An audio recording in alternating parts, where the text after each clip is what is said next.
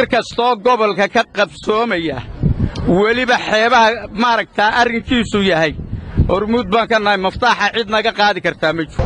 Dalka somalilan maanta wuxuu ku jiraa meel halisa wuxuuna u baahan yahay badbaado. Baddan lughayaad ee laga bixiyey saldhigga militari innaba inaanaan annagu raalli ka ahayn. Mulkiilayaasha lughayaad kolkaan run isku sheeganno waa kuwa.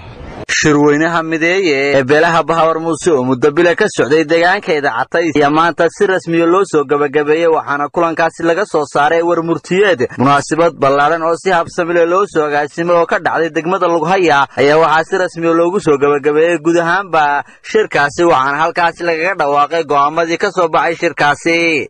Shirweynaha beelaha bahawar muuse ee mideeye kuna taariikhsna labadii lixdii bishii labaad laba kun afar iyo labaatan socdayna ilaa toddobiyo labaatankii bishii labaad laba kun afar iyo labaatan war murtiyeedkii ka soo baxay waxaa lagu soo koobay qodobadan soo socda.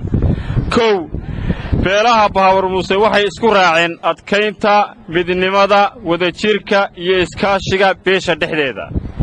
Laba beelaha bahawar muuse waxay caddaynayaan in aanu jirin wax wadahadal ah oo dhex maray beelaha ciise oo ku saabsan arrimaha gobolka sidii ay hore u caddeeyeen cuqaashii beelaha gadabuurse saddex beesha bahawar muuse waxa ay ka soo hor jeedaan wax kasta oo lagu wiiqaayo nabadda carriga somalilan ee ay beeshu si gaar ah u degto sida degmada lughaya saylac calixaydh baki iyo boorama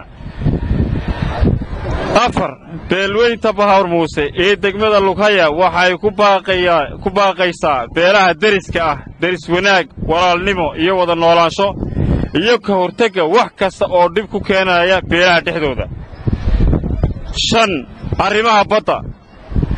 Beelaha bahawar muuse oo ah cidda keliya ee wax laga weyddiin karo degmada lughaya iyo baddeedaba waxa ay beeshu soo dhowaynaysaa wixii horumar iyo maalgashi ah ee ku saabsan wax ka qabashada badda sida deked ganacsi kalluumaysi iyo horumar ah. Waxa ay beesha bahawar muuse si xoog iyo mug leh uga soo hor jeeddaa una oggolaan doonin saldhig militari oo laga siiyo ciidamada etoobiya oo ay heshiis la gashay dawladda somalilan waxa ay beelaha baharuun si xoog iyo mug leh uga soo hor jeedaan saldhiggaa militari ee laga siiyey ciidamada etoobiya degmada lughaya. Baaq.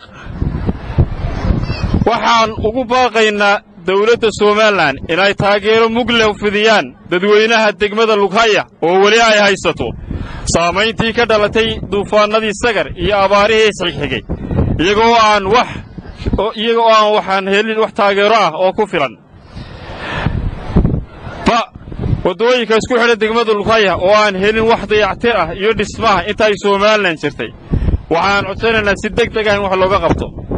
Waxaan madaxtooyada somalilan uga fadhinaa inay fuliyaan ballanqaadkii ku saabsanaa dhisidda deked kalluumaysi ee degmada lughaya kaasi oo uu dhagax dhigay madaxweyne axmed maxamed maxamuud silaanyo xilligii muddaxileedkiisii beelweynta bahawar muuse ee degmada calixaydh iyo lughaya baki boorama saylac waxa ay si xoog leh u caddaynaysaa in aanay ka tanaasuli doonin kana tanaasuli doonin dhulbeeroodkoodii caadda ee ka maqnaa muddada dheer inta ay somalilan jirtay. Arrinkeedana wax layska weyddiiyey meelna laysla dhigay. Beelaha bahawar muuse waxa ay ka maqan yihiin dhammaan hay'adaha dawladda. Waxaa dawladda uga fadhinaa inay arrinkaasi wax ka qabato saamigoodiina ka helaan. Beeshu waxaa isku raacday ilaalinta deegaanka dhirta duurjoogta iyo khayraadka dabiiciga ah ee deegaannadeeda. Waxa ay beelaha bahawar muuse shir wada tashi ugu baaqayaan beelaha walaalahooda ee maxamed case qabanqaabiyaashii shirka oo aanan magac dhabi karin muruq maal iyo maskax waxay geliyeen sidoo kale haween dhallinyar iyo dhammaan oday iyo inanba intii ka qayb qaadatay wakhtigii qabanqaabadiisi socotay iyo wakhtigii hawshii socotay guddi farsamo hadday tahay iyo mid kale hadday tahay. Waxaa kaloon mahadnaq ballaadhan u jeedinaya maamulka degmada lughaya uu hormuud u yahay maayarka degmadu oo si mug iyo laxaadle muddadii shirkaasi socday noola shaqeeyey. Mar walbana heliyo hoolaag taagan ee dhaqanka. Waxaa kaloo nuga mahadnaqaya halkan ciidanka milatariga ee saldhigoogu yahay lughaya oo iyaguna wada shaqayn iyo waxqabad ee walaalnimo aan leenahay. Intaa kadib waxaa iyaguna halkaas saalkas ka daba qaatay qaar ka mid a cuqaasha iyo waxgaradka deegaankaasi waxayna yidhaahdeen. Shirweynuhu sida la sheegay go'aammadiisa iyo xuub ka soo baxay waa ka shirmurtiyeedka lagu akhriyey waxaa intaa dheer dalka somalilan maanta wuxuu ku jiraa meel halisa. Wuxuuna u baahan yahay badbaado. Waxaannu diyaar u nahay cid kasta oo somalilan wadajirkeeda weerar ku ah. Ma soo dhowaynayno waananu ka hor jeednaa. Intaa bacdigeed sida loo sheegay waxaa naga madnuuca oo xaaraana saldhig ciidan oo dal aan deris nahay ah weliba dawladaha deriskii saldhigyo ma kala samaystaan. Waa shuruucda u taalla caalamka. Sidaa darteed somalilan oo dhan baan leenahay ma anfaco bays ciidan oo etoobiyaanii meel kastoo dalka somalilan ka mida. Ma anfaco ma anfaco. Sidaan taayada u diidnaan kuwa kalena ugu diidayna insha allahu tacaalaa taasi waa intaa. Waxaa kaloo halkan farriin uga gudbinaynaa. Madaxweynaha jumhuuriyadda somalilan waxaannu leenahay madaxweyne waad og tahay maanta halka uu dalkii marayo. Waad og tahay maanta wax kasta nin kasta oo cadow ku ahaa somalilan inuu weerar ku soo yahay. Waad og tahay gobolladii yaalkay kala marayaan. Waad og tahay waxa ku xeehan dalka. Sidaa darteed waxaannu leenahay baaqa iyo shirweynaha iyaga waxa ka soo baxay dhega u yeelo marka koowaad. Waxaa kaloonu leenahay deegaammada annaan ka tanaasulayn sida caadda saddex jeer baad ballan ka qabatay. Waxaad nagu xidhay in aan wada hadalno annaga iyo tolkaa tolkaa way diideen inaan wada hadalno. Laba jeer saddex jeer baan ergo ugu tagnay way diideen. Waxayna ku doobinayaani waa adiga. Ka wada hadli maynaa la yidhi arrimaha caadda maanta annagoo dawlada intaa adigaan kuu dhiibnay. Hawshaad ka qabato uunbay ku ekaanaysaa. Haddaanad ka qaban beelaha bahabar muuse sidaa la sheegay go'aan bay ka gaadheen. Haddii ilaahay yidhaahdo xilligeedana cidi ka hor dhici mayso. Intaasina waa farriinaan u gudbinayna madaxweynaha.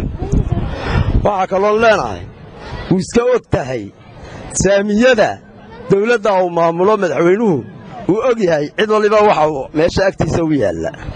Cabasho mig iyo miisaan leh iyay beeshu halkaa ka dareersan tahay laakiin maanta rajo badan kama qabto. Waayo waannu ognahay halka ay kaa taagan tahay. Waxa weeye intaasi waa intaa wax kasta oo dalkeenna iyo deegaammadayada mushkilad ku ana ma yeeli doonno war ma yeelaynaa?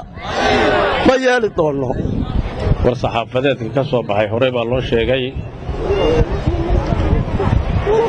waxaanan yeeli doonin oo si mug iyo miisaanle aanan u yeeli doonin oon u sheegaynaa dawladda somalilan iyo madaxweynaha. In saldhig ciidan laga siiyo degmada luqaya iyo agagaarkeega hababa yaraatee wax saldhig ciidana ayaanan oggolayn si mug iyo miisaanle aan midna u oggolayn waan ka soo hor jeednaa yeelina mayno laakiin wixii dadka danua ee ka baxsan saldhig la siiyo ciidanka maxaanku dhahaa etoobiya saldhig la siiyo wixii ka baxsan ee mafacale ee amba dikad la dhiso oo kale ah amba waxyaallo kale waan soo dhowaynaynaa cid walla oo ka cid walla oo maxaanku dhahaa wax ka qabanaysa waan soo dhowaynaynaa waxaan kaloon sheegaynaa dawladda somalilan sida ninkii aqalkii u horreeyeyba uu yidhi kolley waxqabad baa lagaaga baahan yahay. Beesha baabar muuse iyadoo ay ka maqan tahay xilal dhammaantoodba ay ka maqan oo la arkiba ay ka maqan yihiin. Iyadoo oo duufaantii sagal ay raadkeegu ku yaallo degmada luqaya. Oon hababa yaraatee waxba ayna dawladdu ayna u sheeganaynin in wax loo qabto dadkii duufaantaasi ay qabsatay oo weliba caadkii fadhiya ayaa la yidhi bays ciidan baan hor keenaynaa aqbali mayno laakiin waxaa loo qabta dadka. Qarniyada wixii hawl jirtaankaga qisoodaye aan quraaro maantana tanay badhi quseeyaane allahayow qorshahan waad og tahay qaabka uu yahaye qaladiyo umaanaan qasdiin shay khasaaraahe qarankiyo midnimadaan rabnaa inaan quwaynaaye. Qarankiyo midnimadaan rabnaa inaan quwaynaaye wixii naga qabyo baan rabnaa inay qabsoomaane qaraaradan saxeexniyo dhammaan qodobadan gaadhnay.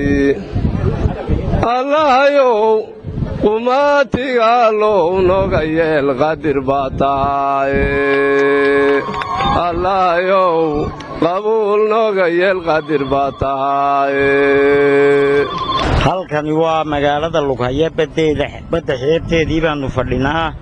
Waxaan halkan ka caddaynaynaa baddan lughayaad ee laga bixiyey saldhigga milatari innaba inaanaan annagu raalli ka ahayn.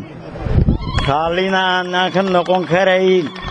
Marnaba aanaan oggolaanayn ciddii isku dayda in ay samayso. Waxaasina amba ay keento dalal kale annagoo nalagala tashan dadka degaanka ninna u daba fadhaysan mayno annagu dhulkaa u ilaahayna dhigay.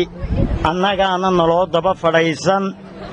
Intaasi waa intaan u diraayo ciddii annaga nagu soo socota. Naf iyo maal iyo muruqna diyaar baannu u nahay.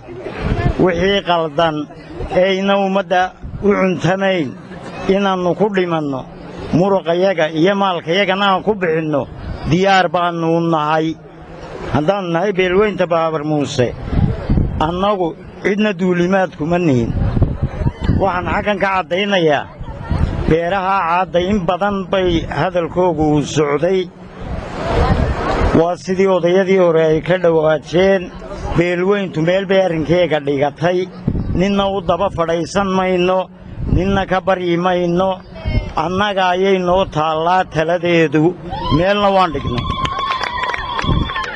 halkan imminka waxaan ku soo dhowaynayaa ugu dambayntiina waxaa kulankaasi soo gebagabeeyey suldaan abshir maxamed ducaale islamarkaana ka sheekeeyey maraaxiishii kala duwanaa uu soo maray shirweynahani wuxuuna tilmaamay warku waa kaa dhammaaday baabur muuse qodobka ugu adkaa ey markii dambe meel iska wada taagtay waa qodobkaa la sheegay. Waxa weeyaan dawladda kama hor jeeddo oo calankii buluuggii aan ku dagaalami jirray kii beddelay waa kaa. Gobolkuna ma odhan wax kale aan ku beddelanno annaguna ma odhananno saasaan dawladda somalilan u nahay. Laakiin saldhiggaa bahabar muuso intii kalena waxay isku raacday inaanay oggolaan siday dee ugu iskugu raaceen inay ugu dhintaan iyo inaad ka dayso labadaabay mid noqon taasi. Waxaan leeyahay baabar muuse baabar muuse faanka ma taqaan. Faan baana imiga badan. Beesha mulkiilaha lughaya mulkiilayaasha lughayaad kolkaan run isku sheeganno waa kuwaa cid walliba lughaya way ka qaxday. Cidda aan ka qixin dagaalkii sokeeye wixii alla soo reebay un arkay. Waa kuwaa sidaa awgeed bay dagaal dambeba u necab yihiin imminka dee wax qabsaduun mooyaane. Waxaan leenahay madaxweyne. Dadkaagu wa kaayoo maxaafid buu kuu yahay waxna si iyo waxaasina uu badnaa halkaa waxba rajo badan dadku kama qabo. Waase dee la hadli. Dadkani xoololey bay ahan xoolay ku noolaayeen xoolihii dagaalkii laga soo bilaabo dagaalkii bay ku madheen. Dadku inta badan magaalu iyuu iskugu yimidda inkastoo baadiyuuna noo jiro. Waxa weeyaan kolkuu magaalo iskugu yimidday lugaya waxay aragtaa un qolo wefdi oo socota. Habeen hawl badan uunbay aragtaaye dawladba ma aragtaba. Haddana waa kuwa iska iimaan qaba. Wixii lagaga bixi lahaa xoolay lahaan jireenoo lugooyo badba hore umay baran. Immigay nafi tustay waa kuwa laashashka adarkaso waa kuwa halkaa yaalla. Baddaa lusha. Meel yaroy ku xidhaan male waa dhowayd baad soo qaadoo waxaad tidhi waar baac mushtariga awdalow? Malyuun halkaa ku soo rida annaguna waan ku darannaaye. Taasi way jirtay. Tu kale oo xildhibaannada gobolka. Ay maaragtaa miisaaniyadda horta waxaa la yidhi gobolka gebigiisaba wax uguma jiraan. Warqaday ka daba keeneen oo isku raaceen kuwii awdal iyo kuwa bari iyaa jiro oo dekadda lugayaad ku dar lagu yidhi. Warqaddaasina way qoran tahay miisaaniyaddiina weli maad saxiixin. Inaad taa ku darto taasaa ka cantuuga roone. Iyo haddaad ku dari weydo inaad tii kaleed ballan qaadday wixii aad ku darasay aad ku darto. Waa kii isliibkii ay kuu keeneen baac mushtarigu waa kii ku yidhi malyuunkaadna weyddiisay waa naga keennay ee warqaddii ay kuu keeneen. Labadaa arrin mid fuli waxaan leeyahay waxaa la yidhi nin baa la yidhi war ninkaama waxbaa ka yar si a laba nin baa ku marantay. Waar ebel sidii maaha iyo hadalkaa ku batay iyo maxay. Waxay yidhahaan xeedhaha la hor dhigo. Oo laba fundhaala lagu rido hadduu miyir qabo miduunbuu ku cuni.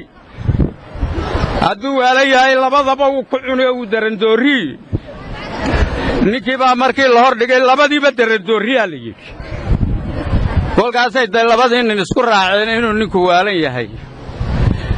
Waxa weeyaan waxaa la yidhaa halkan xukuumado badan baa dee soo maray. Ood aduu ka midtood u dambaysay. Iskuma dhaamaan degmadaa lughaya iskuma dhaamaan. Dhibaatadii baad arkaysaa ma garanaysaa dhibaatadii hore dagaalkii tiftiisii baad magaalada ku dhex arkaysaa cunaqabataynta inta badan xagga maaliyadda iyo xagga shaqadaa ee gobolka saaran. Malaha gebilay unbay ka ladantao bahashii booramo oo astaan dawladeed lagu arkaa gobolkayaga inta kale way cumaqabataysan tahay. Waa dadkaagaa cumaqabataynta ka saaroo malaha lamaba dhergeeh labada fundhaalba ku cuno oo laakiin malqaacad yar u dara waxaa kaloo sheegayaa dadka walaalahaya ah ee bariya galbeedba wuu jiraaye dad walaalahaya ah yaa jiroo shir bay ku baaqeen iyo wax la ydhaa annagu shirka ammaannu arag. Shir kastoo gobolka ka qabsoomaya weliba xeebaha maaragtaa arrinkiisu yahay. Hormuud baan ka nahay maftaaxa cid naga qaadi kartaa ma jiro cid maftaaxiisa naga qaadi kartaa ma jiro. Arrimaha inta xigtadu ila leedahay waanu geyn waa abraynoo kalea xigtada ah. Inta tolka kale ila leeyahay ilaa bahabar celi inta gobolku ila leeyahay. Maanta intaan ka hadlayaa waa intaan anuu gooni u lahaa. Waxaan leeyahay walaalahayna waxaan leeyahay. Waar shirka ninkii shir doonaya waxaa la hadalhayo in maaragtaa la yskaga yimaado doonaya. Dad dibaduhu ka soo qooqay baa jira gobolkaba ha u dhashaan oon dadkooga war u hayn haddaad tala haysaan gobolkaad ka dhalateen kaalaya. Kuwa kalee dabagaalle habeese dushaasu ka qaba laydhaa ciidamay ururiyaanoo waxbay ku duulayaan laydhaana waar halkan annagaa joogna wax lagu soo duulaa ma jiro. Waxa weeyaan annaguna somalilan la dagaalami mayno haddaanay shuruuddaasi aanay iman waxa weeye ciddii arrin u baahanay gobolka iyo xeebaha ciddii arrin meeshay sayl hadday tahay meeshay doontaba waan tegi laakiin meel ka baxsan xeebaha oo shir la yskugu yeedho yeeli mayno intaa baan ku soo koobayaa salaamu calaykum mu'miniinta iyo muslimiinta allah u dambi dhaafo